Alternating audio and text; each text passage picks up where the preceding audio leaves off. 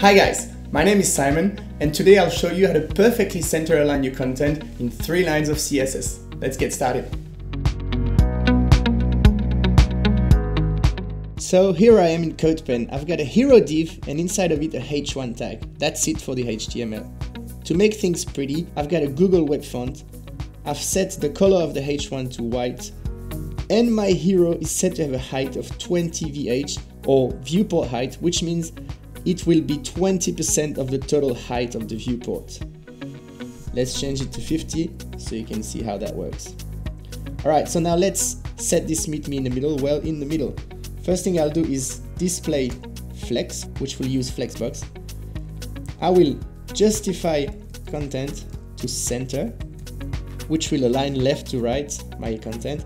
But the really cool thing here is align items to center, which will now vertically center perfectly my thing in the middle.